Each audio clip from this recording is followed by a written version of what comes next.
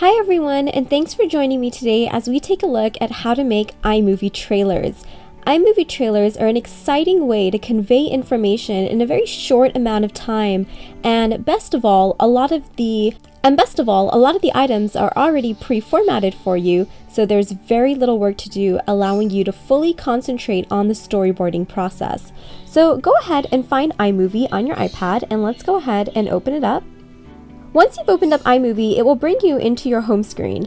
And if you go up to the top right hand side, you'll go ahead and locate the plus icon.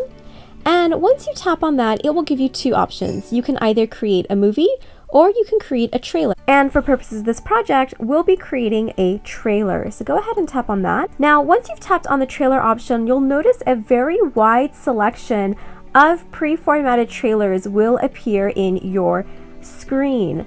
One of the things that's kind of cool about what you can do is you can take a look at the different ones and if you go ahead and tap the play button, it will give you a preview of what that looks like. You'll also notice right below the preview, you can go ahead and see how long the trailer is as well. Once you've decided to choose a trailer, go ahead and come up to the top right and tap create and it will go ahead and generate all of the trailer items for you. So one of the things that you'll see come up on your left hand side is an outline and the storyboard. Now again, like I mentioned, what's great about this is this is really all that you have to fill in, really allowing you to focus on the storyboarding process. If you come down to the bottom right, you'll notice that you can bring in video, you can bring in photos, and you can also go ahead and even open up your camera to bring in any footage that you need. Now what's great about these iMovie trailers is not only can you bring in photos and videos that you've taken, but you can also use any saved images that you have as well to create your trailer.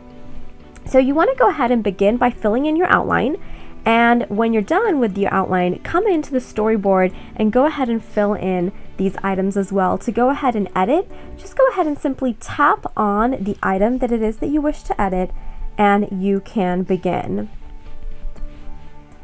And you'll notice your text will appear right then and there.